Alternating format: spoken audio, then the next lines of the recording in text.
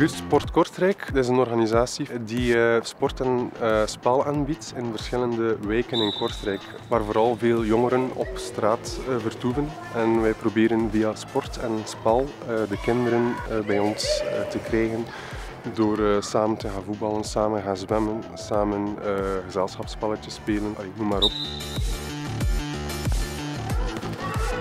Deze middag is er een toernooi uh, georganiseerd door Buurtsport en we hadden voor de kinderen een verrassing in petto. Straks komen de spelers van KVK Kortrijk naar hier en komt Yves van der Hagen uh, een opwarming geven.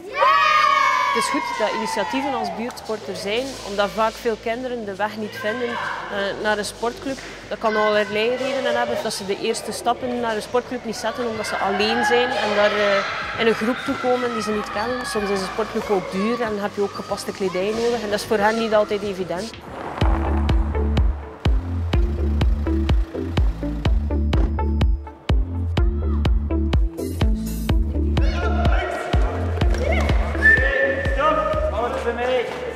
Dankjewel. Ik stel jullie voor. Wie is dat? KVK. Ah, en doen ze het een beetje goed dit jaar? Ja. Vanuit KVK steunen we deze projecten, dus als buursport. En, uh, ja, ik ben van opleiding regent lichamelijke opvoeding. Ik heb dat vroeger toch nog wel gedaan. Oh! In je handen! Maar voor die kleine gastjes heb je toch iets meer geduld nodig. Voilà, hup. We willen met dergelijke initiatieven tonen dat onze spelers, ook onze club KV Kortrijk, ervoor kiest om meer dan alleen aan voetbal te doen en ook iets terug te geven aan de kinderen en de jongeren in de stad Kortrijk.